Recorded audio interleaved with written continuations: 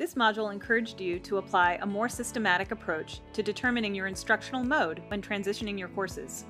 You weighed the advantages and disadvantages of synchronous and asynchronous options in selecting the synchronicity that fit your course, students, and university.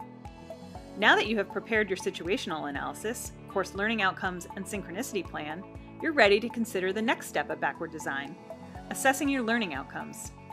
We have heard from a lot of faculty that they're unsure how to convert some of their existing assessments into an online environment.